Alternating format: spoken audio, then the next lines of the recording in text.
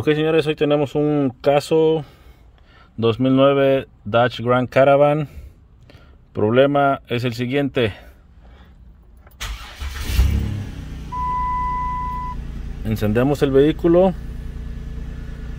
y la falla que ha dado de la noche a la mañana es de que el coche no quiere enfriar de este lado de aquí ok. Entonces voy a prender el aire acondicionado. Frío como los Rockies frío como las nieves de Chalino Sánchez. Ok. Chequeamos acá cómo empieza a bajar la temperatura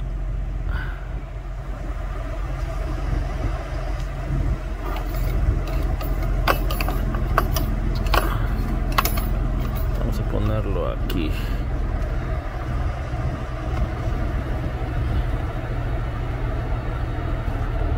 ahí empieza a bajar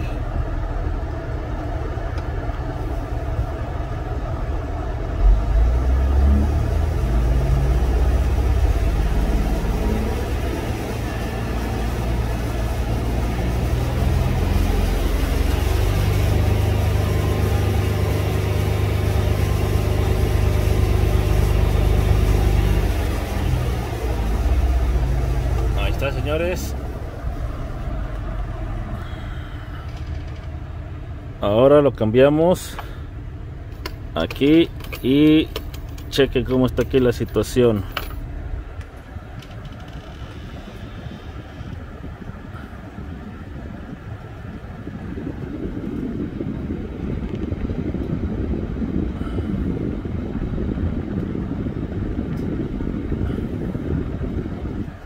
Se quedó en caliente este lado. Y este se quedó en frío.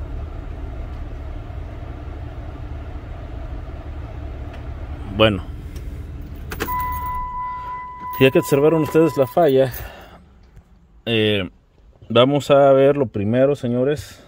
Lo primero, ya saben, vamos a escanear. En este caso voy a usar este escáner. Vamos a usar este escáner, el DS708. Voy a sacar códigos, señores, para ver qué problemas puede haber. Si es que hay un problema relacionado al eléctrico, códigos, algo. No lo sé. Vamos a ver primero qué, qué pudiera ser aquí la posible falla. Ok. Así que yo voy a sacar los dichosos códigos.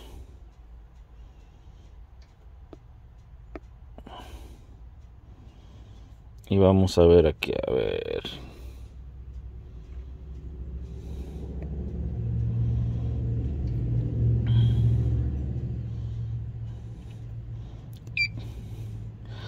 Chrysler dice aquí excepto todo lo de abajo. Esta es una 2009. Y vamos a sacar Auroscan. Vamos a ver aquí cuántos y de cómo y por qué tan caros.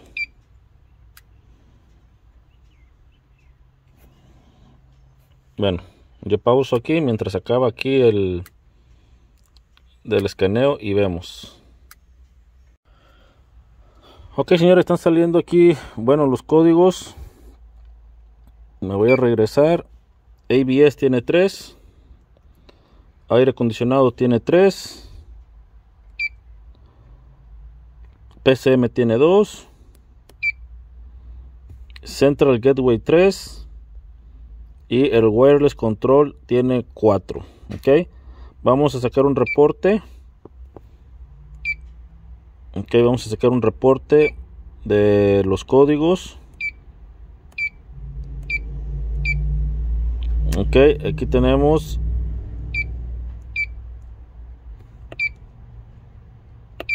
Ok, aquí está, miren. ABS, left front wheel speed sensor, comparative performance, left rear wheel speed sensor, comparative performance, and right rear wheel speed sensor. Simplemente está, sacando códigos de los sensores de velocidad. delantero frontal, eh, bueno, delantero frontal, frontal izquierdo, eh, izquierdo trasero, derecho trasero, ok. O sea, prácticamente no es de que no sirvan los sensores, simplemente que hace una comparación de las ruedas y eso es lo que está pasando, que no está de acuerdo a la misma velocidad cada uno. ¿Pero por qué? Déjenme les explico. Déjenme les explico, guys. Este vehículo, cuando nos movimos de Florida a aquí a Sur Carolina, se cierro aquí.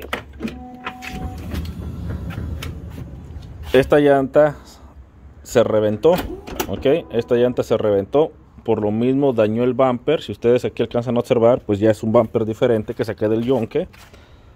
Ok, no es del mismo color. Y por lo tanto le tuve que poner las cuatro llantas nuevas. Ok, entonces al reventarse esta rueda, pues ya no leyó igual. Ok, no hay ninguna luz prendida del ABS en el tablero, ninguna luz de traction control, no hay nada. Pero ustedes aquí alcanzan este, a observar que ya no está esta tapadera de aquí y está la manguera eh, directa de, del depósito de combustible ok ahí ¿por qué?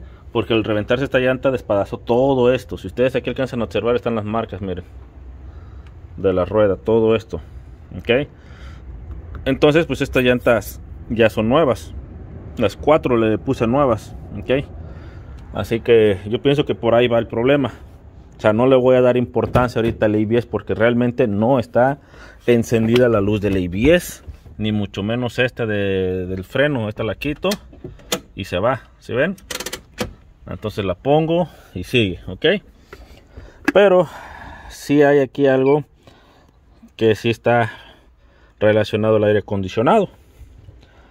Rear Blend Request Input Low Dice aquí que este código es, para el aire acondicionado.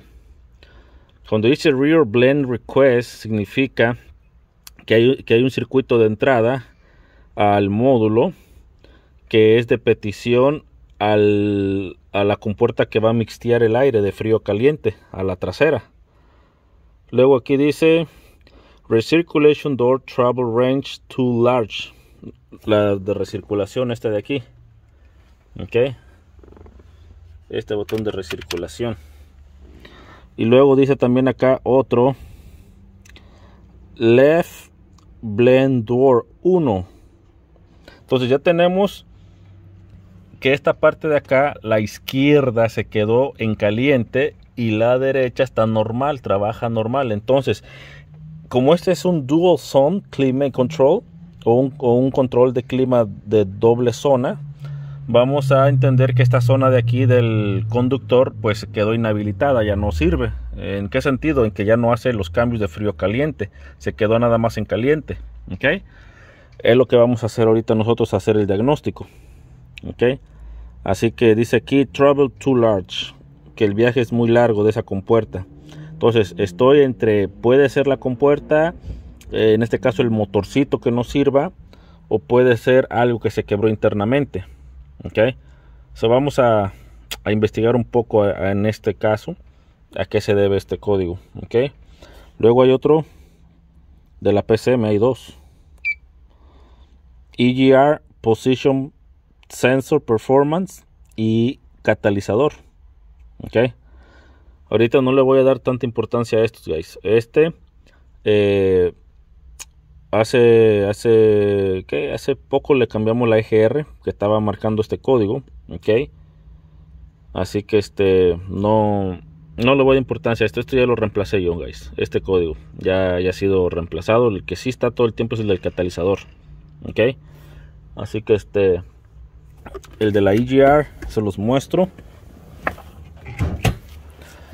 les voy a mostrar ese código que la válvula ya fue reemplazada tiempo atrás pero por alguna razón no le borramos el código.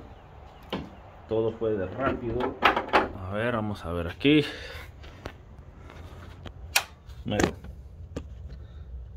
Ahí se alcanza a ver la EGR ok esa EGR ya se la reemplazamos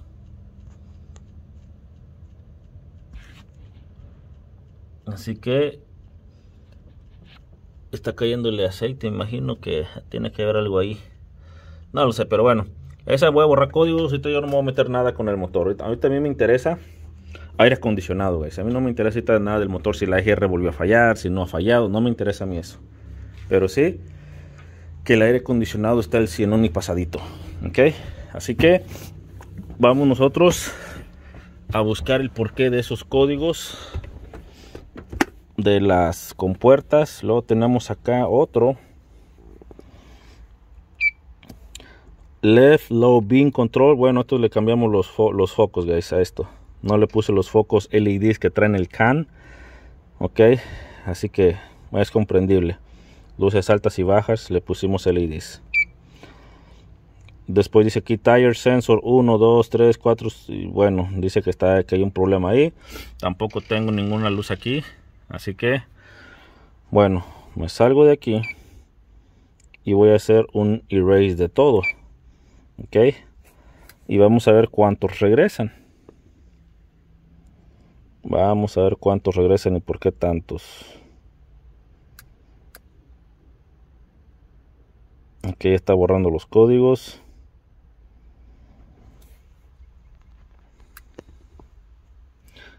Ok está borrando todos habidos y por haber. Así que vamos a dejar que haga su trabajo y volvemos a escanear. Ok guys pues ya se hicieron borrado de todos los códigos. Ok todo está pasando. Excepto este porque tiene los focos LEDs ok sigue marcando los mismos códigos LEDs entonces qué es lo que voy a hacer aquí eh, vamos a salirnos de aquí y nos vamos a ir a la unidad donde esté el aire acondicionado. Mm, no se ve que el aire acondicionado. No se ve. Aquí está. Aire acondicionado ok como mi problema está aquí que no avienta aire eh, frío cómo saber si realmente está el problema presente o no vamos nosotros aquí a hacer una función aquí mis functions ok hay una, creo que es esto, System Test, déjame ver. Aquí, System Test y Actuator Calibration, ok. Entonces voy a hacer yo aquí un test para ver todas las compuertas que seccionen. Esta prueba moverá todos los actuadores del aire acondicionado, ok, todos sus límites de cerrado abierto, ok, para determinar a cada puerta individual. Entonces vamos a darle que sí. Actuator Calibration Test in Progress. Miren, ya está aquí en, progreso.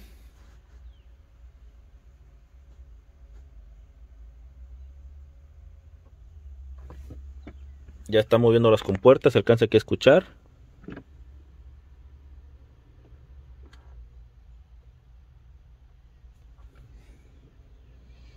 No sé si ustedes lo escuchan, pero estoy escuchando todo el movimiento aquí de compuertas.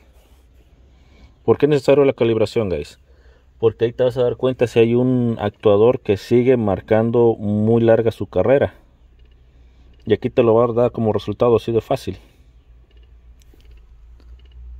Ahí se quedó uno dando vuelta. Ya, está girando, está girando. Se escucha que está girando.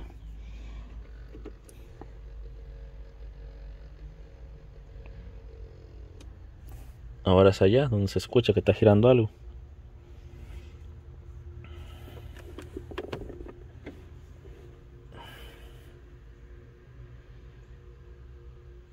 Ahora está haciendo los de atrás. Ok, miren. Dice aquí, calibration test failed. One or more actuators failed calibration. Ok. Falló este. Déjame ver a ver. No este que dicen false false. Left blend falló. Recirculation falló. Y rear blend falló que son los tres códigos que tenemos ok estos tres códigos. Chequen esto. Vamos a sacar códigos ahorita con la prueba que se le hizo miren se volvieron a activar. Rear blend recirculation door y left blend door ok bueno tenemos los los mismos códigos así que déjenme ver cómo vamos a accionar nuestro siguiente paso. Ok guys aquí buscando información acerca de ese actuador me manda aquí a esta parte donde van a entrar las líneas, quiero pensar, del heater. Ok. Así que vamos a descombrar. Vamos a descombrar esta parte de acá. Todo esto de aquí abajo. Toda esta parte de aquí abajo vamos a descombrar para llegarle a la, a la parte que va a estar pues por ahí abajo va a estar ok yo voy a quitar ese, ese cobertor de ahí y vamos a ver qué tanto más necesitamos remover. A ver si déjenme le pongo la luz a ver si alcanzamos a ver algo aquí. Ok ya va a estar detrás del motor de los pedales. Ya ahí está arriba. Bueno voy a descombrar aquí lo más que pueda y continuamos señores. Vamos a hacer eso Ok guys, ya descombré aquí abajo. Así que el motor va a quedar ahí, a esta altura. Son dos tornillos por ahí de estrella. Así que lo voy a retirar y este es el del, el del blend Blend door left side Ok, o el motor mixteador del lado izquierdo Ok, lo voy a retirar y vamos a ver qué hay ahí, si está quebrado o qué es lo que está pasando ahí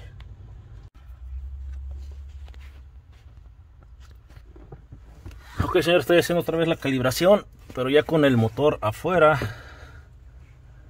Ahí se alcanza a observar.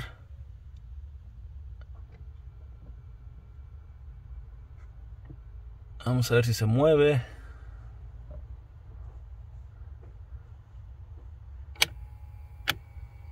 Ya, está tronando muy feo ese motorcito, guys. Ahorita escucharon cómo tronó de feo.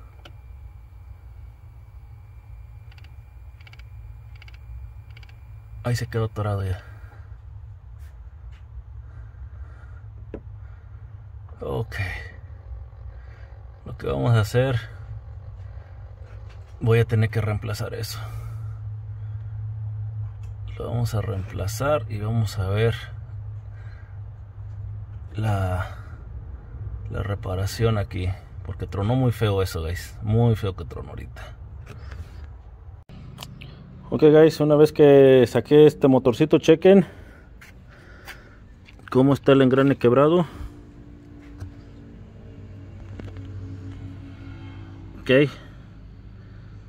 Ahí está la parte quebrada. Es este engrane de aquí. Este de aquí. Este. Ok. Entonces vamos a tener que conseguir otro aquí en el autopartes, algo rápido. Para que así este podamos avanzarle aquí.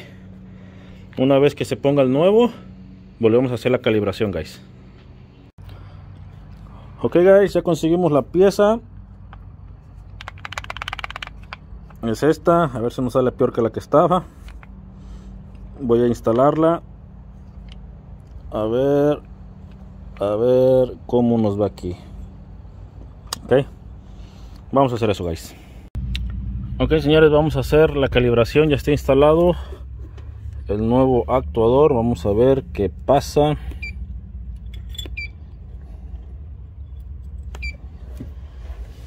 Así que vamos a meter a la computer del aire acondicionado y vamos a dar calibrar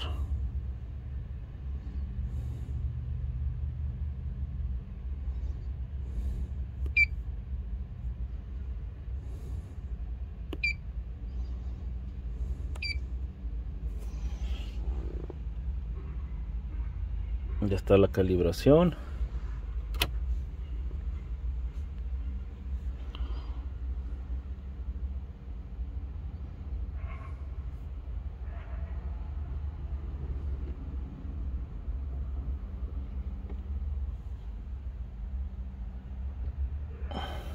Esperamos a que haga la calibración. Algo que se me pasó borrar códigos guys. Eso es muy importante es probable que no agarre la calibración porque tiene los códigos encima bueno vamos a esperar a ver qué es lo que hace esto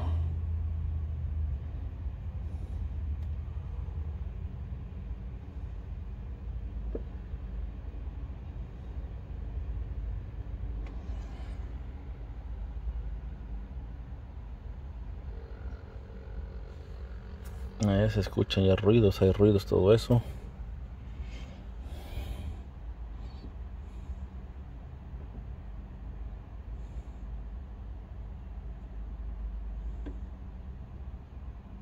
Los de atrás accionándose.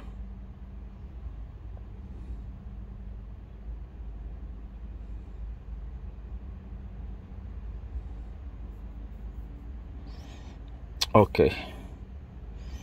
Entonces, parece que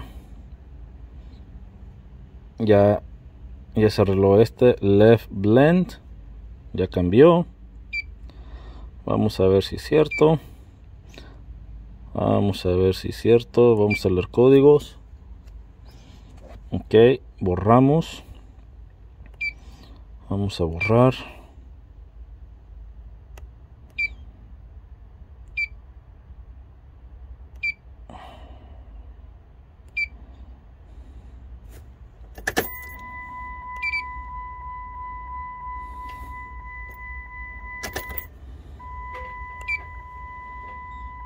Ok, a leer. No hay. Vamos a prender el aire acondicionado a ver qué a ver qué sale. Ahora ponemos esto aquí.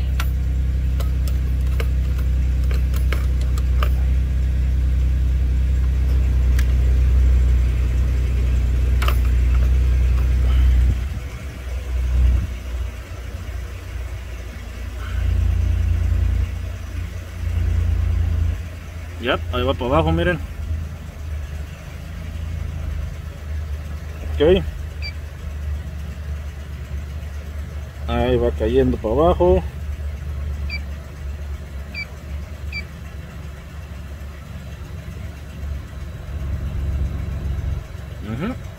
Misma temperatura ya.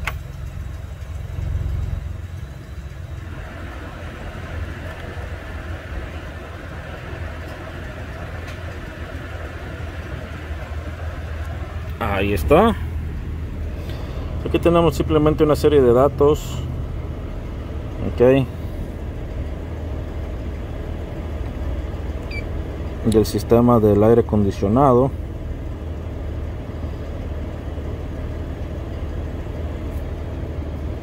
Pero ahí quedó guys.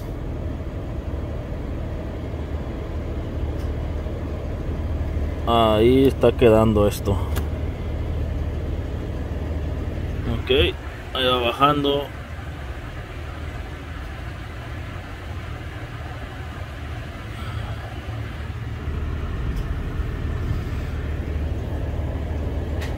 Simplemente son datos aquí pues hmm.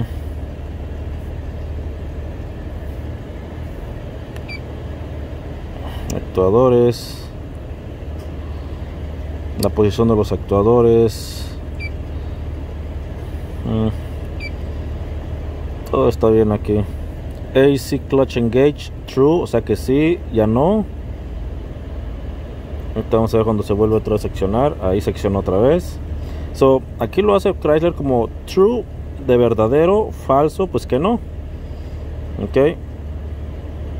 Así que este, ahí ya no se activó.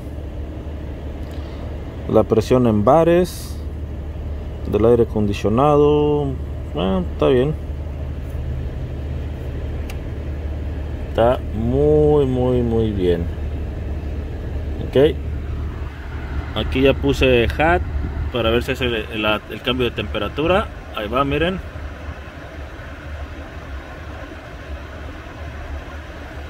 Lo vuelvo a poner aquí en, en frío.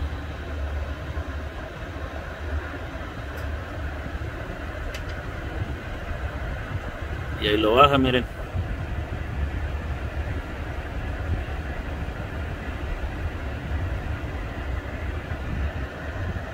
Así que pues bueno guys. Esto ahí quedó. Es un motor quedaron dos pendientes pero el otro no interesa tanto ese de recirculación.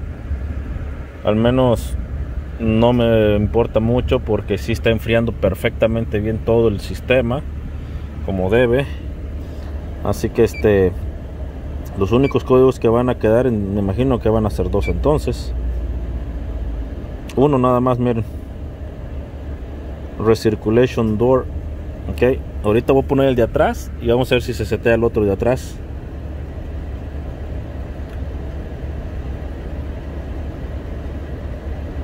mm, no, ahorita nada más el puro de recirculación está. Ok. So ahí está señores. Ahí está ya el coche enfriando perfectamente bien. Así que pues no pasa nada guys. Vamos nosotros este a culminar este video. Ok. Bueno vamos a dar una limpieza a la cámara señores 27 y 28 de este mes de abril Houston Texas ok Houston Texas si quieren más información déjenme su número de teléfono déjeme por ahí, ahí este, en un mensajito corto, maestro, estoy interesado en las clases de Houston, de qué van a tratar. Uso de osciloscopio con la herramienta que se hace llamar Pressure Transducer. ¿ok? Ese Pressure Transducer nos va a ayudar a identificar problemas de compresión en el motor, válvulas fuera de tiempo, eh, árboles de leva, trazado adelantado, eh, muchas cosas vamos a diagnosticar con esa herramienta, señores. Así que este, pues bueno, vamos a dejar ahí la invitación abierta para aquellos que necesitan esa clase, quieren estudiar eh, para ese día, ahí conmigo. No necesitan tener una experiencia de 10, 15, 20 años, señores. Si son principiantes, tienen un nivel intermedio, pues cáiganle, cáiganle para el río. Eh, si les interesa, vuelvo a repetir, igual aquí yo les puedo dar la dirección con un mensaje de texto vuelvo a repetir vamos a darle ahí su su este pues información necesaria precios horarios dirección todo lo que ustedes necesiten guys pero en un texto en un mensaje de texto déjenme su número de teléfono guys. Así que vayan a hacer eso de inscribirse guys